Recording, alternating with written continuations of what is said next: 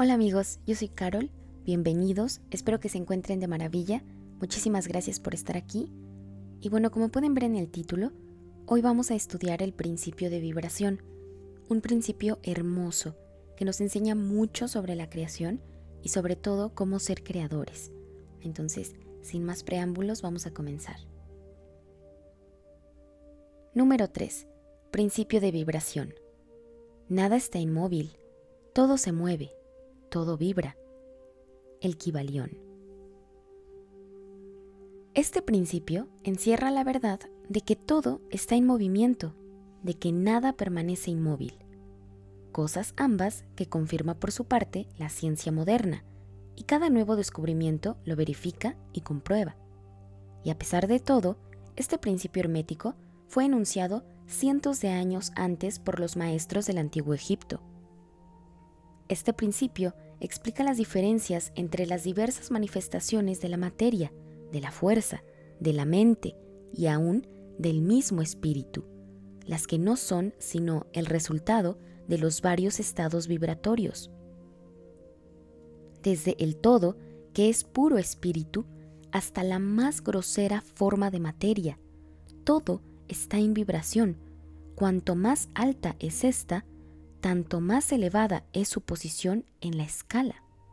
La vibración del espíritu es de una densidad infinita, tanto que prácticamente puede considerarse como si estuviera en reposo, de igual forma que una rueda que gira rápidamente parece que está sin movimiento. Y en el otro extremo de la escala hay formas de materia densísima, cuya vibración es tan débil que parece también estar en reposo. Entre ambos polos hay millones de millones de grados de intensidad vibratoria, desde el corpúsculo y el electrón, desde el átomo y la molécula, hasta el astro y los universos.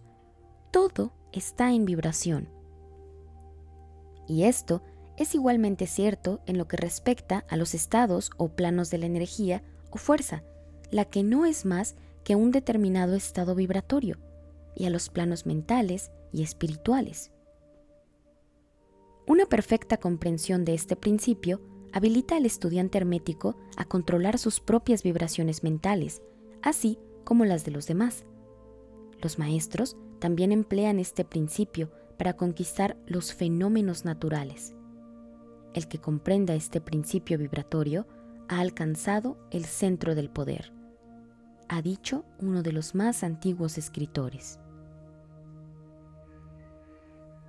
Qué bonito lo que acabamos de leer, ¿verdad? Esto, como les mencioné, es del Kibalión. Y bueno, como todos, este es un principio atemporal. Siempre ha sido ampliamente conocido y practicado por los verdaderos sabios y maestros eh, de todos los tiempos. Sin embargo, hasta hoy en día ha comenzado a ser reconocido en el mundo de la ciencia, como en la teoría de cuerdas, por ejemplo, que más tarde, que más tarde vamos a profundizar al respecto. Y para entenderlo mejor, hay que tener muy presente los principios que ya hemos estado estudiando anteriormente, de correspondencia y mentalismo, para que podamos ir armando el rompecabezas de la realidad y, y podamos ir comprendiendo mucho mejor. Entonces, primero vamos a profundizar en esta verdad de que todo está en constante movimiento, de que todo siempre está vibrando, esto se explica bajo la premisa de que absolutamente todo es amor. Y ese amor vibra, está vibrando y se manifiesta en forma de luz, es decir, en fotones. Entonces, este concepto de la vibración ha sido siempre descrito y mencionado en muchísimos textos sagrados. Por ejemplo, en la Biblia, Juan 1.1, en donde dice, en el principio era el verbo, y el verbo era con Dios y el verbo era Dios. Entonces, cuando nosotros leamos términos como el verbo, la palabra o y Dios dijo, todo esto eh, nos está dando a entender el principio de vibración. Se está refiriendo a eso, porque la palabra o el sonido es una forma de energía que se transmite a través de la materia en forma de ondas. Entonces, estas ondas son vibraciones que, que se propagan por un medio, como el aire, el agua o, el, eh, o algunos sólidos, ¿no?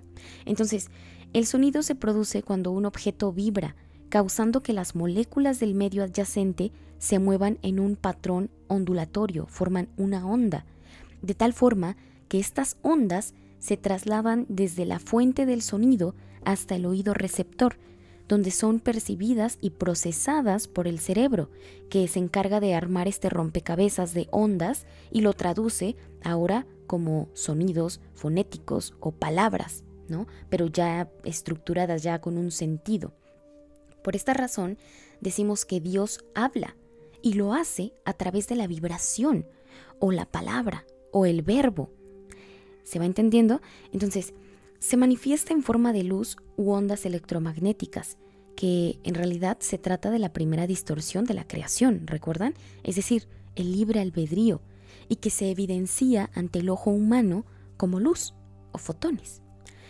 Entonces, por otro lado, por principio de correspondencia, como es arriba es abajo, este principio de vibración está muy, muy relacionado con el chakra garganta, porque recuerden que somos hechos a imagen y semejanza de la creación y del creador, y también nosotros manifestamos este principio de vibración en el diseño divino de nuestro cuerpo, específicamente en el quinto chakra.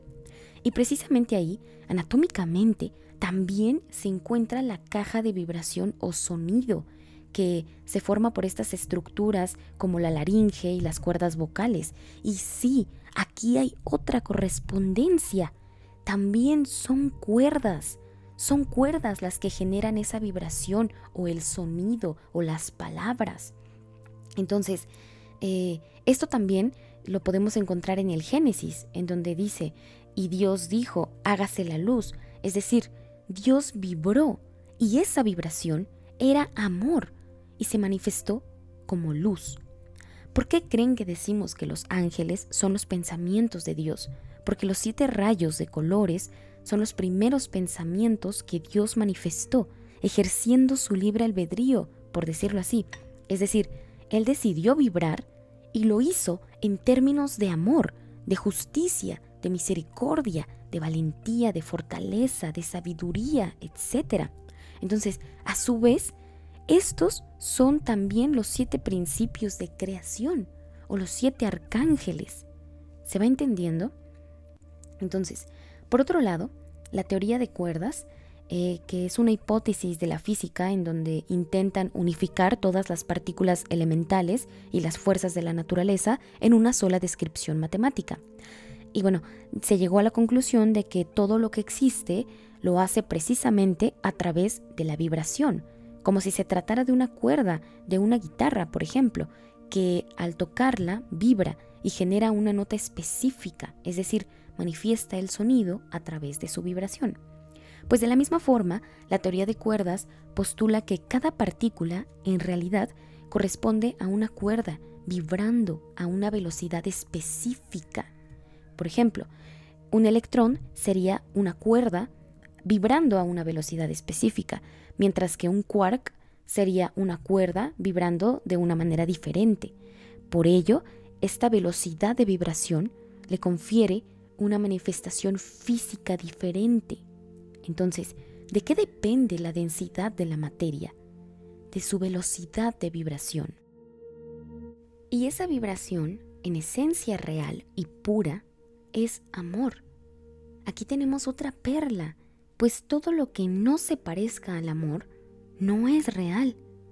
Entonces, si esa decisión que vas a tomar o aquello que vas a hacer no está fundamentado en el amor, o el resultado no te va a llevar a crecer en luz y amor, o va a hacer sentir mal a alguien, o no sé, o va a perjudicar a alguien más, lo que sea que no se parezca al amor, entonces muy probablemente no estés tomando la decisión correcta. Estás eligiendo una ilusión, algo que es transitorio. El amor real nunca se acaba, nunca abandona, nunca desiste, siempre es, en la más pura extensión de la palabra. Por esa razón, solo se puede crear o manifestar de verdad y fácilmente cuando se hace desde la conciencia y el más puro y sincero amor. Y el fundamento del deseo siempre debe ser el amor, ya sea amor hacia los demás o amor hacia uno mismo. Porque si tu deseo tiene como fundamento el amor, ten por seguro que con eso, disciplina y paciencia va a llegar sí o sí, no hay falla. Entonces, por otro lado, otro ejemplo de este principio se encuentra en las jerarquías angelicales, específicamente en los serafines, quienes son descritos como los más cercanos a Dios y son conocidos por su ardiente amor y su pureza, ¿verdad? Eh, son descritos como teniendo seis alas y rodeando el trono de Dios, cantando sin cesar, Santo, Santo, Santo.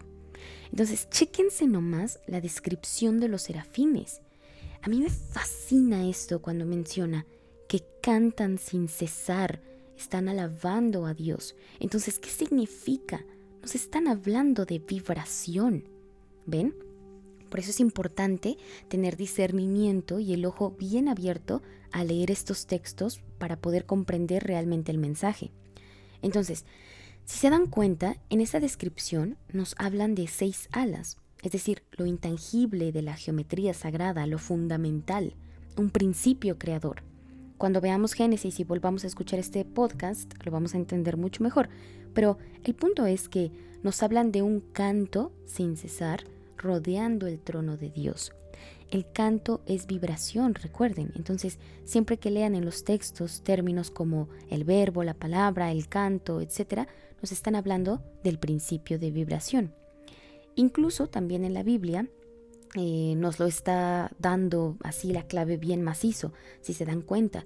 Eh, los serafines siempre son representados como angelitos bebés, ¿no? Que precisamente nos hablan de su pureza, es decir, la cercanía que tienen al Creador, a la fuente. Entonces, esta cualidad, esta cercanía, les permite transmitir ese amor infinito de la forma más pura posible. Y al mismo tiempo son bebés angelitos que llevan consigo un instrumento musical, el cual particularmente genera sonidos angelicales como el arpa, por ejemplo. Entonces, toda su morfología casi casi nos está gritando que estos serafines en realidad son pura vibración de amor y es la más cercana a Dios porque se manifiesta sin distorsión alguna más que la firme convicción de ser amor. Y entonces tiene sentido ahora el porqué de su aspecto, ¿verdad? Así que cuando sientan, por ejemplo, el corazoncito agüitado, triste, invoquen el amor y la presencia de los serafines para que su vibración y su luz inunde la mente, el cuerpo y el alma con ese amor infinito del Creador. Bueno, entonces, por otro lado, en el texto también hay una comparación en la intensidad de la vibración entre altos grados y bajos grados de conciencia.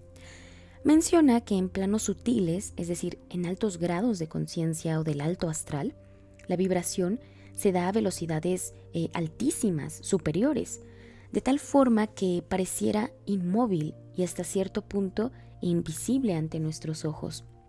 Y vean, un ejemplo eh, así como muy físico, palpable de estos, de, de este principio, sería, por ejemplo, las aspas del ventilador. Cuando le pones al nivel máximo, las aspas están girando tan rápido que pareciera que están inmóviles, incluso casi casi amenazan con ser invisibles. Giran tan rápido que podemos ver incluso que hay detrás de las aspas, aunque ellas estén en movimiento. Y si no me creen, hagan este experimento, vayan a ver. Eh, y bueno, por esta razón, los seres multidimensionales son entre comillas invisibles, porque su vibración oscila a velocidades altísimas. o sea, literalmente ellos sí están vibrando alto, pero ellos se ven como pura luz. O sea, recuerden que la vibración genera pues esos fotones, ¿no? Entonces, sucede exactamente lo mismo con ese regalo tan hermoso que los ángeles encapsularon en las glándulas de nuestro sistema endocrino en cada uno de nosotros y que provienen directamente de la fuente. Es decir, estos siete centros energéticos o los siete chakras precisamente están representados por siete rayos de colores. ¿Se dan cuenta? Cuando algo es bajado del alto astral, permanece en vibración perfecta, vibran a la velocidad correcta, rápido, que parecen invisibles. Entonces, y de hecho son invisibles, ¿no? O sea, cuando nosotros vamos al doctor eh, y nos hacen, por ejemplo, una ecografía en las gónadas, pues no te dicen, ah, mira, ahí está tu chakra, este, tu chakra raíz o así, ¿no? O es, no, no, no, o, no te dicen, mira, te hacen una ecografía de tiroides y te dicen, mira, ahí está tu chakra garganta. Pues no, estas máquinas densas, estas mentes cerradas, estos ojos que no están listos para ver, pues no son capaces de eh, observar, de captar estos centros energéticos que son eh, luz de amor, pero pues a veces están eh, apagados, a veces están detenidos, eh, opacados mm, por distorsiones ¿no? que se van ahí acumulando. Pero bueno, ese es otro tema. El caso es que una vez que nacemos, nos corresponde a nosotros mantener esa vibración a la velocidad perfecta para que nuestros chakras puedan funcionar correctamente. Y entonces es ahí donde empieza el viaje, el viaje de la vida, donde comienza el juego. A partir de ahora depende de nosotros despertar eh, el kundalini, abrir los chakras, eh, hacer el viaje del héroe, subir la escalera de Jacob, encontrar la piedra filosofal, que es abrir el corazón, activar el toroide, etc. Todo eso son requisitos necesarios para poder vibrar correctamente y por ende poder crear o manifestar a voluntad pues se trata de la integración de este principio de creación de vibración. y así, pues no ser arrastrados por este principio por una falta de conocimiento del mismo y ejecución. Entonces, por esta razón, si nosotros fuésemos capaces de ver un ángel en su forma más eh, cercana a la realidad posible, lo único que podríamos ver es luz, nada más. Lo mismo sucede con nuestros hermanos de la Confederación, por ejemplo. Si nosotros eh, fuéramos capaces de ver a Ra, a Laitos, a Kuo, a Ladwi, etc., lo único que veríamos es luz. Incluso en la sesión número 6 de la Ley del Uno, cuando Ra nos habla sobre eh, su estancia aquí en la Tierra, cuando vinieron a visitarnos, mm, pues precisamente nos platica sobre este proceso de condensación para poder caer a tercera densidad cuando estuvieron aquí. Entonces, les voy a leer literalmente lo que dijo mi querido Ra cuando nos platicó em, en la sesión número 6 de, de este suceso. Y dijo, nuestros cuerpos físicos eran lo que ustedes llamarían dorados. Éramos altos y algo delicados.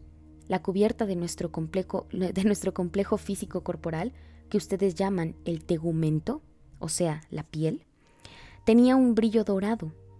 De esta forma, decidimos venir a tus pueblos. Tu gente en ese momento era muy diferente a nosotros en apariencia física, como podrías llamarlo. Nosotros, por lo tanto, no nos integramos bien con la población y obviamente éramos distintos a ellos. Por lo tanto, nuestra visita fue relativamente corta, ya que nos encontramos en la posición hipócrita de ser aclamados distintos a ustedes. Y este fue el tiempo durante el cual construimos las pirámides. Bueno, esto fue lo que Ra nos contó. ¿Se dan cuenta? Eh, recuerden que ellos se encuentran habitando la sexta densidad con una profunda búsqueda hacia la séptima densidad. Entonces, para que ellos eh, pudieran bajar desde la sexta densidad a la entonces tercera densidad, tuvieron que ir disminuyendo su vibración para poder densificarse hasta verse como nosotros, o por lo menos parecidos, ¿verdad? Y aún así no lo lograron al 100%, porque pues no manches, o sea, ellos vienen de una densidad altísima de conciencia. Eh, cuando bajaron, eh, su propia morfología, pues los delataba, ¿no? Cuando, porque cuando habitas en planos elevados de conciencia, literalmente tu cuerpo también es una manifestación de ello. Por esa razón, eh, nosotros eh, tenemos en la melanina de nuestra piel esta amplia gama de colores rojos, naranja y amarillo, porque delata nuestro paso por la primera, segunda y tercera densidad. Entonces, mis chavos, los de Ra, pues vienen del rayo índigo de la sexta densidad, o sea, pinche conciencia avanzadísima del alto astral. Por eso su piel y el resto de su morfología en general delataban su estado de conciencia. Eh, de la misma forma sucede, por ejemplo, con los grises, ¿no?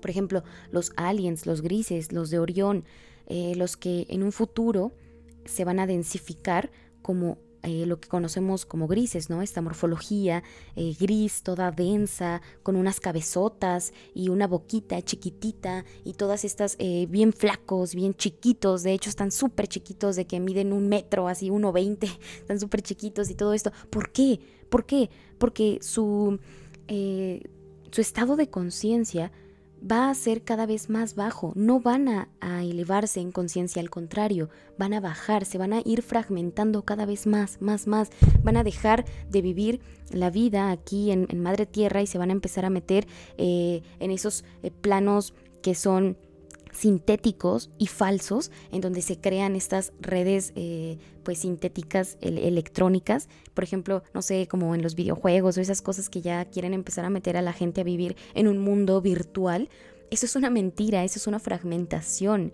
Entonces eh, es por eso que los aliens los grises van a eh, tener esa morfología, porque ya no van a ser personas que van a salir a la calle, incluso la piel va a dejar de tener ese brillo, la sangre ya no va a brillar, ya no se van a ver color así como estas gamas de colores que les mencioné, ya no, se van a apagar, ya no van a brillar, ya no van a tener ese ki, ese prana, esa energía.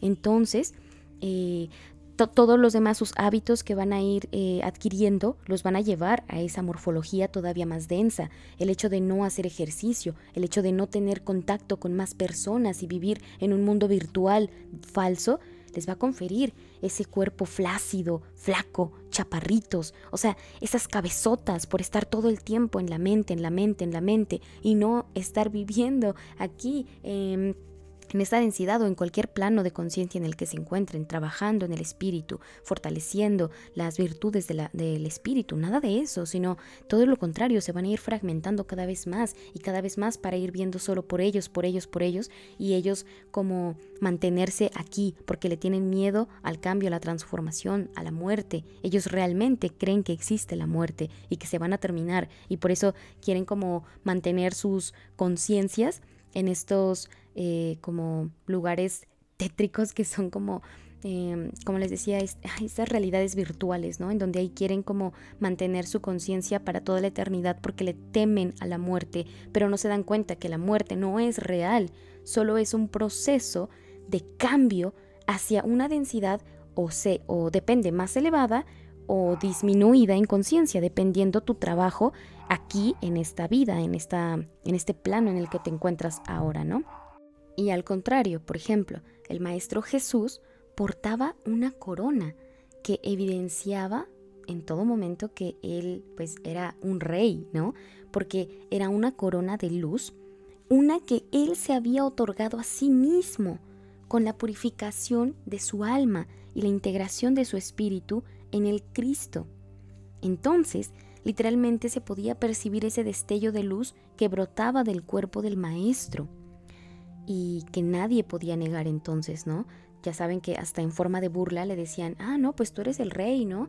Pero porque todo el mundo se daba cuenta que él portaba la corona, él la portaba, pero no lo hacía de esta forma pomposa ni galardonándose por, por ahí de que, ah, mírenme, yo soy el rey. No, ni madres, él nunca lo decía. Simple y sencillamente, su propia morfología lo evidenciaba.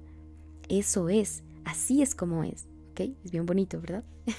Entonces, literalmente se podía percibir este destello.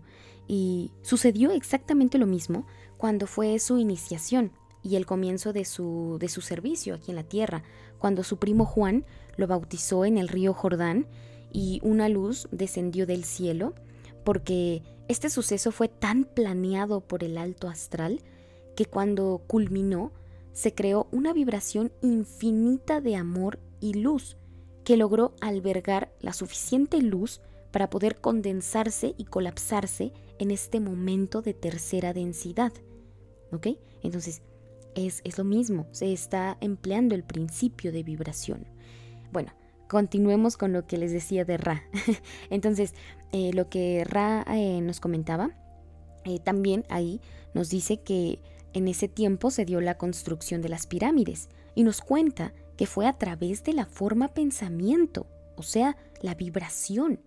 Incluso habían cantos que vibraban a frecuencias específicas para lograr mover la materia, es decir, esas rocas gigantes y poder moldearlas y acomodarlas en la posición perfecta eh, sobre la pirámide.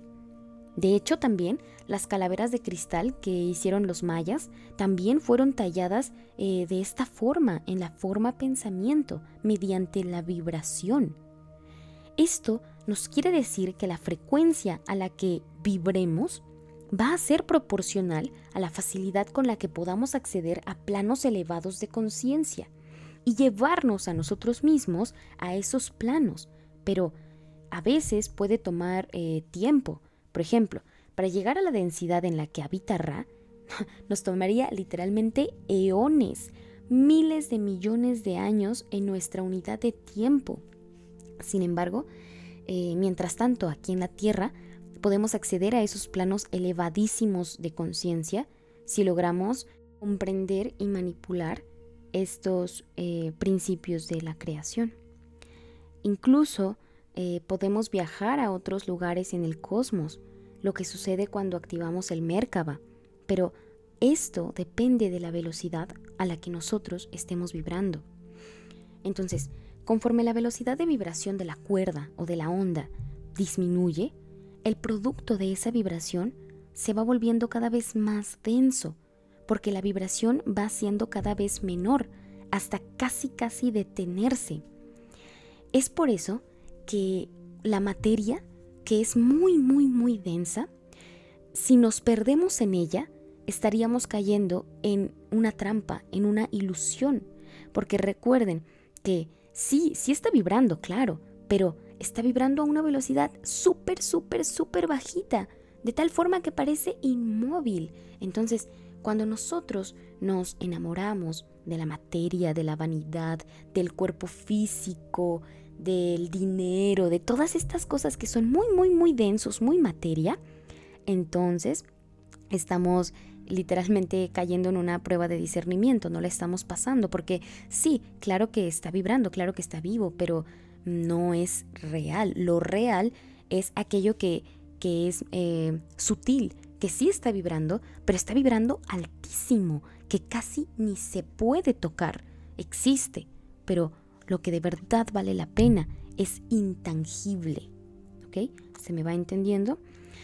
Entonces, este misterio también nos lleva a entender el misterio del ángel caído, entendiéndose que un ángel viene de la más alta vibración, que viene sacado prácticamente de la fuente divina del Creador, y conforme va cayendo, la velocidad de su vibración va disminuyendo y se va haciendo cada vez más y más denso hasta caer lo más bajo posible. Entonces, ahora se convierte en un ser humano, por ejemplo, lo más denso y tangible posible, o lo que se conoce también como la décima jerarquía de ángeles. Nosotros somos ese ángel que cayó, somos ese ángel que fue alejándose cada vez más y más y más de la fuente, y que fue disminuyendo la velocidad de su vibración hasta ser lo más denso y material posible. Entonces, de aquí para abajo ya es una ilusión, ¿ok? Ya no nos podemos fragmentar más. Esta vibración ya no puede bajar más, ¿ok? Y quien lo haga estaría haciendo magia negra. Es una práctica que no es de luz. Por ejemplo, la depresión, el narcisismo, la sociopatía, eh, los trastornos de la personalidad, etc., todo eso son una manifestación de la disminución en la velocidad de la vibración, sobre todo en chakras específicos. Por lo tanto, se traduce como alejarse de del creador o alejarse de Dios o de la unidad. ¿ok? Y esto genera una ilusión de separación ya sea mediante la envidia, el egoísmo, el orgullo, el odio, el rencor, resentimiento, las adicciones, la pereza, la ignorancia, etc. Todo lo que conlleve un bloqueo en los centros energéticos o en los chakras. Todas estas manifestaciones de energía negativa quieren decir que no se tiene energía, más bien falta.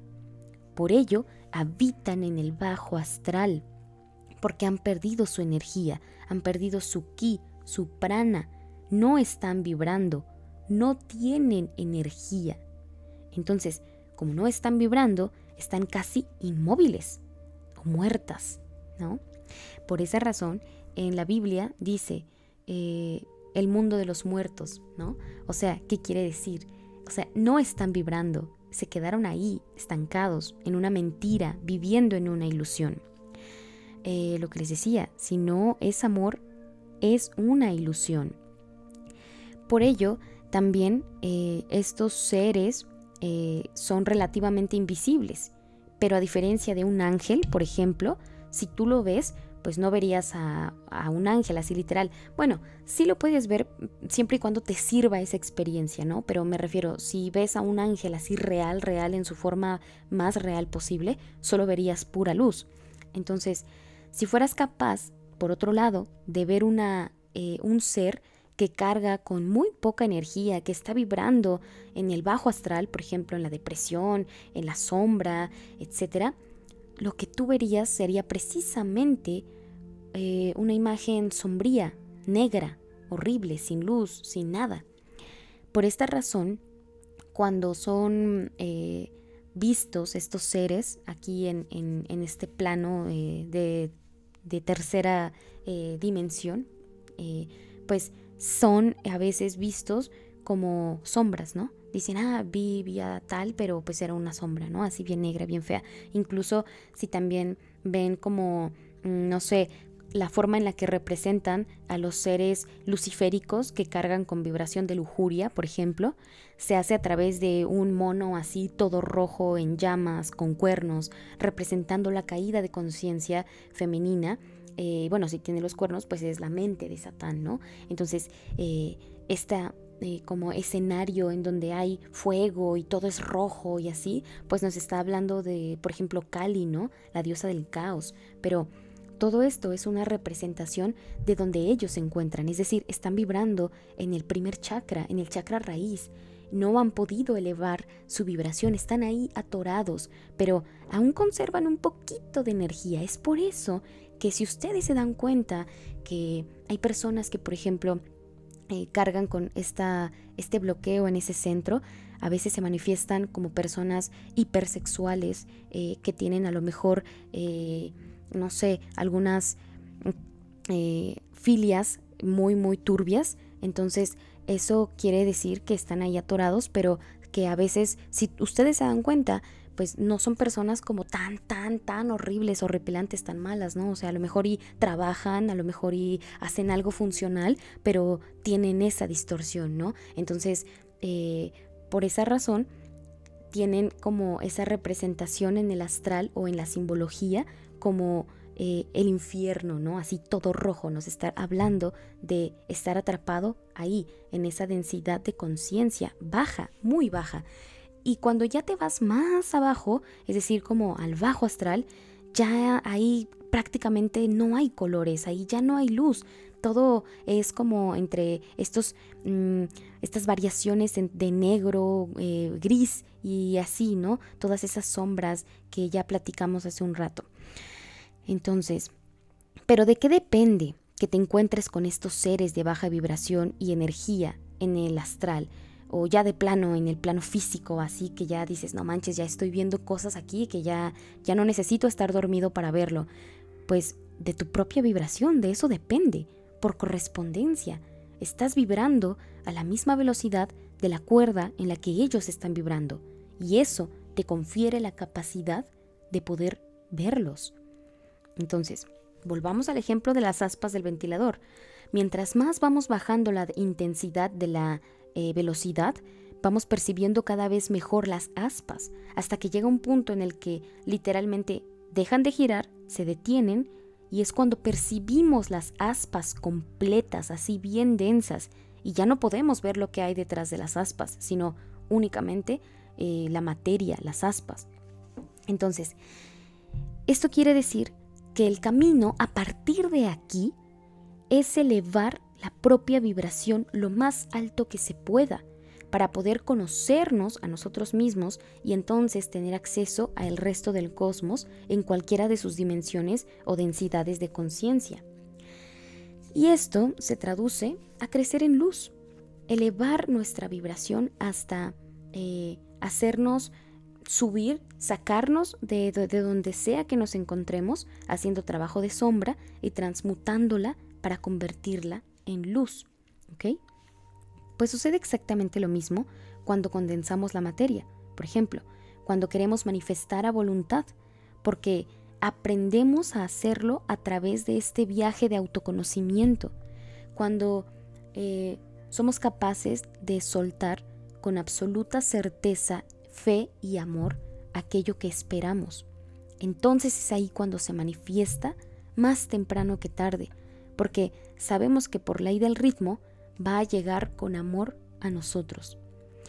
Tendremos la certeza absoluta porque estaremos vibrando correctamente y enfocando nuestra energía en perfecta sintonía con la cuerda o la onda de eso que queremos. Es decir, estaremos ocupados trabajando con disciplina y amor para conseguirlo.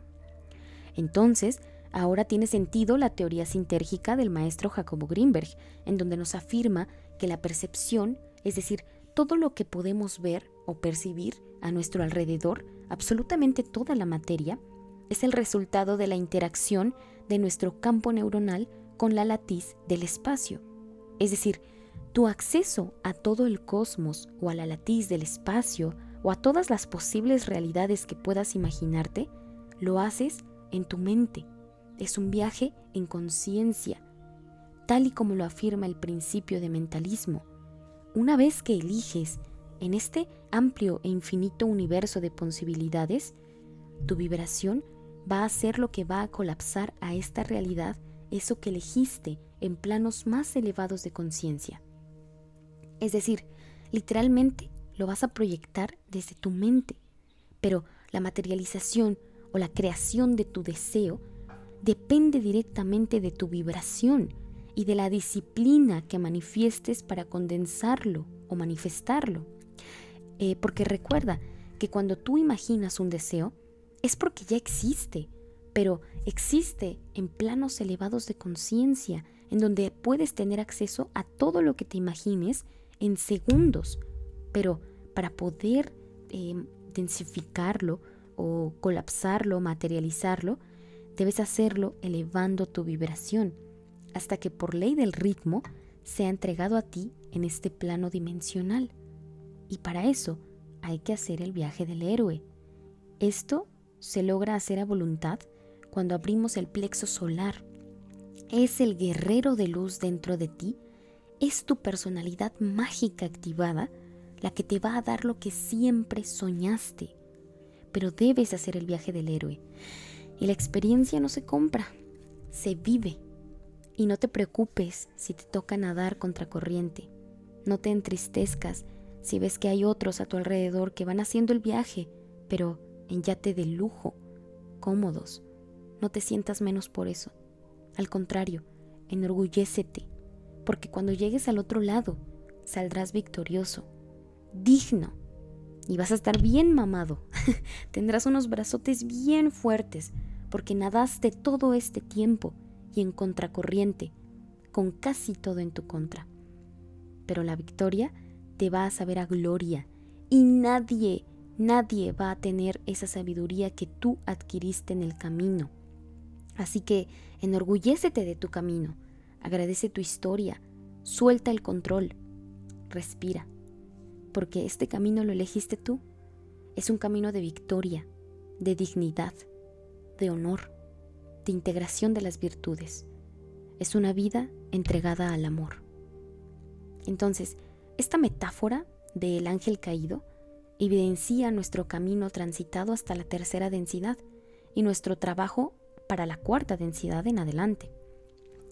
Se refiere a que literalmente nosotros, a través del tiempo, hemos estado haciendo un viaje en conciencia desde la creación, eh, desde que comenzó la creación, que si lo ponemos en perspectiva de niveles de conciencia, se trata de una caída desde lo más alto, en donde al principio vivíamos literalmente en conciencia con el todo, éramos uno. Primero en Polaria, luego bajamos a Hiperbórea, luego caímos en Lemuria y luego nos densificamos, gracias al ego, en Atlantis. Y gracias a la mamada del científico loco en Atlantis, ahora estamos aquí en el presente, en la era post-Atlante, más densos y materiales que nunca jamás. Es lo que les decía, ya no podemos fragmentarnos más. Esto es lo más, más, más denso, más bajo que podemos caer. Ya más abajo es una ilusión y es magia negra, ¿ok? Y esto se debe a la caída de Atlantis, porque recuerden que en el 2012 se supone que apenas debió terminar esa era de tercera densidad, la era Atlante, y cambiar a, la densidad eh, número 4 de chakra corazón. Que sí sucedió. A partir de entonces, Madre Tierra pertenece a cuarta densidad y a partir de ahora solo pueden albergar almas de cuarta densidad de conciencia. Por ello, todos los niños que están haciendo desde el 2012, si se dan cuenta, son más despiertos y están más conectados a la fuente porque son almas que vienen a servir o a pasar su examen, pero de cuarta densidad, o sea, ya más, más chingones, ¿no? Aquí en Madre Tierra. Entonces, en teoría, todos ahorita deberíamos tener la conciencia del Maestro Jesús, que manifestó hace dos mil años, pues es el avatar que vino a enseñarnos cómo se vive en esta cuarta densidad. Por eso el Maestro tuvo un impacto tan grande en su visita aquí en la Tierra, porque fue el viajero en el tiempo que nos mostró a través de su propia vida cómo se vive en la 4D, pues sabía que faltaba muy poquito para que nosotros cambiáramos de dimensión a la quinta y a la cuarta densidad de conciencia. Y bueno, como les decía, ¿no? Lo de Atlantis. Entonces, recuerden que sucedió una catástrofe hace 11.000 o 12.000 años más o menos, en donde los científicos locos de esa época obviamente tenían conocimiento de todo lo que les estoy contando, o sea, ellos sabían todas estas cosas, controlaban la materia a través de la vibración, pero los babosotes crearon un Merkaba sintético para llevar el poder a otro nivel, a densidades ya más superiores, ¿no? Bueno, eso es lo que se pretendía, esos locos pretendían, ¿no? Pero pues ya saben, motivados por la pendeja distorsión de tomar el control sobre el resto de los individuos, o sea, la caída de conciencia masculina, la mente poseída por Satán o por el ego, ¿no? Ya, ya hemos platicado ampliamente de estos términos para que vayan a echarle un vistazo eh, en el canal por si quieren. Bueno, les decía, estos científicos locos crearon esa madre, pero sintética, en laboratorio. Hicieron un desmadre, literal, destruyeron casi casi al planeta entero y casi rompen la fábrica de la realidad, del espacio-tiempo. O sea, no, no, no, no, fue una locura. Entonces, esa madre se cayó. O sea, estos güeyes sí, neta, la pusieron hasta arriba de una pirámide. O sea, de verdad pensaban que iba a ser un plan poca madre. Pero la verdad es que no, o sea, era una distorsión muy, muy turbia, porque el Merkaba se activa, pero interno, tú lo activas con tu eh, propia voluntad, con tu esfuerzo, con tu trabajo, con el viaje del héroe. O sea, no lo puedes crear en un laboratorio y luego ya decir, bueno, ya me voy de viaje a donde yo quiera. No, o sea, te lo tienes que ganar. Es, es una, digamos, es un don que, todos podemos eh, acceder a él, pero que te, lo tienes que ganar, ¿ok? Eh, todos sabemos, todos estamos eh, hechos para lograrlo, para hacerlo, pero depende de ti, tienes que aprender a hacerlo. Y esto es en luz, esto es una práctica de magia de luz, entonces tienes que hacerlo tú, ¿ok? Entonces, como les decía, eh, hicieron este desmadre así súper horrible, lo pusieron arriba de esa pirámide. Entonces cuando lo activaron, todo valió madre, o sea, todo, todo, todo se fue al demonio. hagan de cuenta eso, ¿no? Entonces resulta que esa madre se, se hundió. De tal forma que está ubicada ahora todavía en el Triángulo de las Bermudas y su vibración está afectando nuestro presente. Por esa razón, la caída de Atlantis fue este hundimiento de la civilización, ¿no? ¿Recuerdan? Bueno, pues fue por esto. Entonces, por esa razón, es nuestro deber elevar nuestra propia vibración. Recuerden que no hay nadie a quien cambiar sino uno mismo. Y de aquí para el real, todo es un viaje hacia arriba, ¿ok? Hacia la luz, no se les olvide. ¿Y cómo?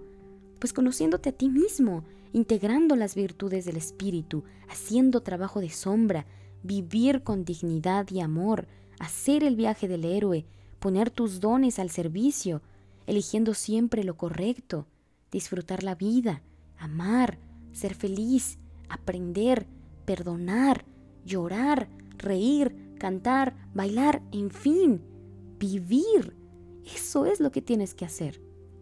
Y bueno, ya, por último, para cerrar con broche de oro, el último ejemplo de maestría de este principio es por parte de los chamanes, estos sabios maestros que mediante eh, el conocimiento y un uso correcto del principio de vibración y su fe, sobre todo, logran sanar, materializar órganos, eh, realizar estas cirugías en forma pensamiento o lo que se conoce como cirugías psíquicas, o controlar sucesos naturales como la lluvia, por ejemplo, en, los casos en el caso de los graniceros, ¿no?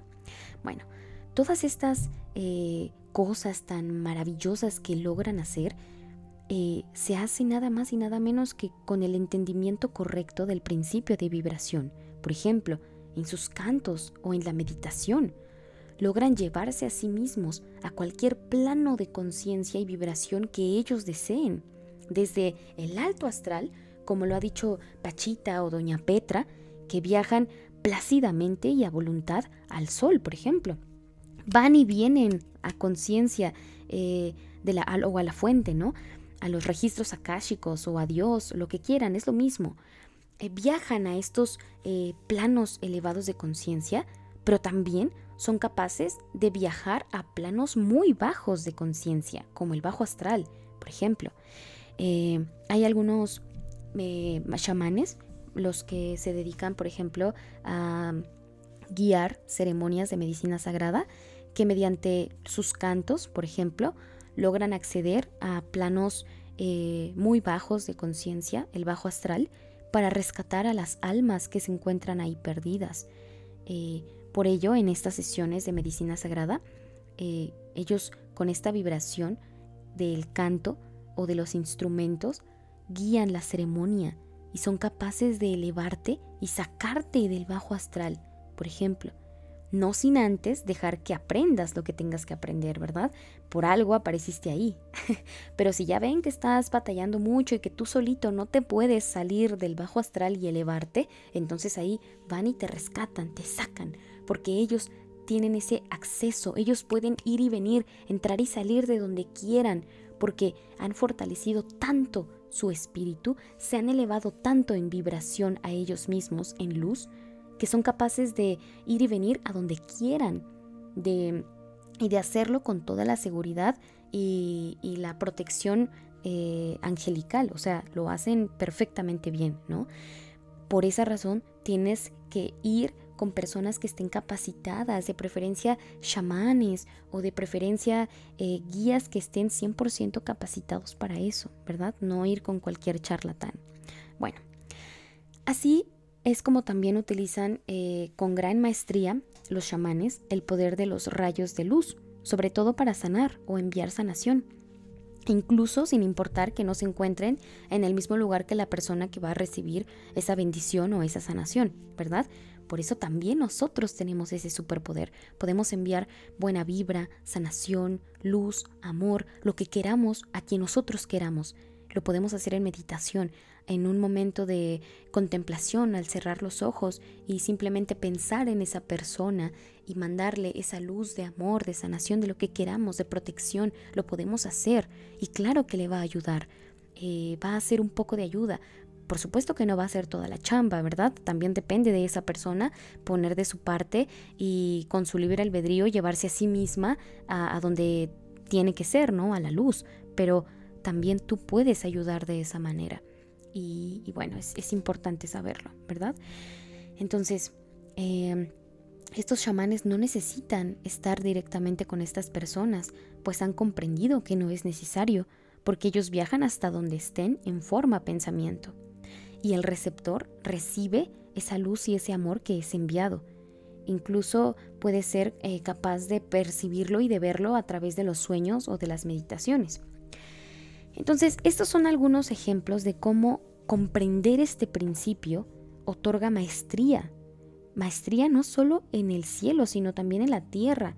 Y esto lo representan algunas deidades con estos mudras que hacen con las manos, cuando están, eh, una está dirigida hacia arriba y la otra está dirigida hacia abajo. Esto nos habla de maestría en altos grados de conciencia, pero también en los bajos, maestría en el cielo y en la tierra. ¿Ok? Entonces, por esta razón es importantísimo comprender el principio de vibración. ¿Ok? Y bueno, me parece que es todo lo que les quería comentar amigos acerca de este maravilloso principio. Espero que me haya dado a entender y que esta información eh, les sea de ayuda para su camino eh, en este rumbo hacia la unidad. ¿Ok? Pues bueno, les mando un abrazo con mucho cariño. Muchísimas gracias por quedarse hasta el final. Y bueno, si hay alguna duda o algo así, pueden dejarla en los comentarios y ya la estaremos respondiendo, ¿vale? Los dejo en la luz y el amor del infinito creador. Adonai.